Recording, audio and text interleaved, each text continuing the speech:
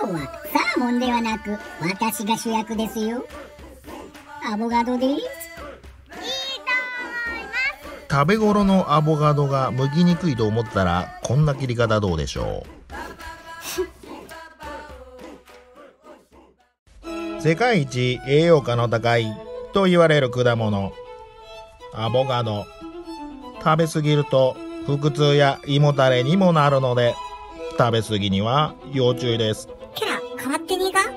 高カロリーで1つ220カロリー。ご飯1杯分ぐらいでしょうか。アボカド1つでレタス2.5玉分の食物繊維です。アボカドの食べ頃が難しい。そんな方は皮が緑から黒に移り変わる。その間のものを選んでいただくのがよろしいでしょう。すると硬くもなく柔らかすぎずもなく切りやすくとてもいいアボカドではないでしょうか。アボカドはヘタの部分から熟すのでヘタが取れているものは熟しすぎです。切るのが大変ですね。アボカドの変色が気になる方はこの横切りで切ってみてはいかがでしょうか。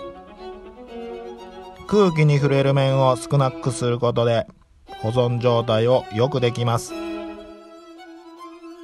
ラップでくるみ密封できる袋になど入れて冷蔵庫へ入れておくと餅がいいですよ。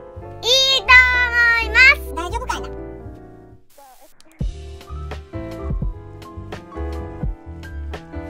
いろいろな形に切ることによって用途の広がるアボカド。今回はアボカドサーモンサラダを作ることにしました。ごま油小さじ1塩コショウ。少々。だし醤油ですね。酢を小さじ半。軽く混ぜておきましょう。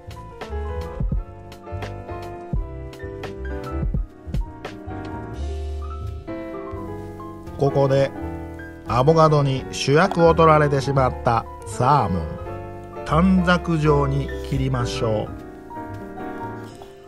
回転寿司屋で見かけるサーモンアボカド。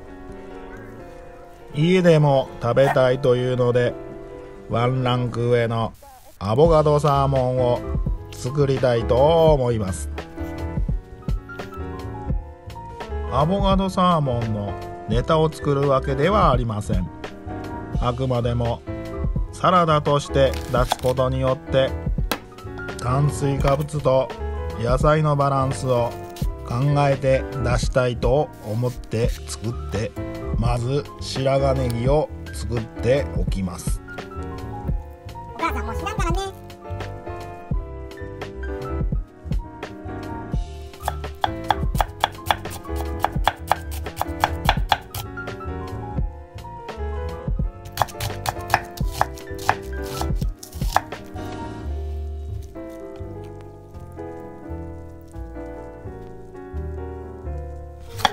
ここへキャベツですね。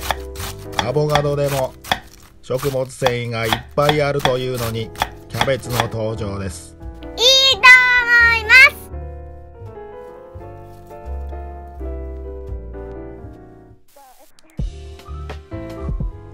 す。サラダにオレンジ色が入るだけでかなり華やかなサラダになるのではないでしょうか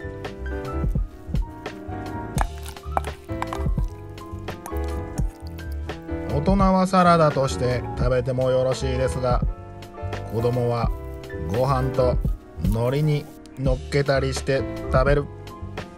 ぜひ。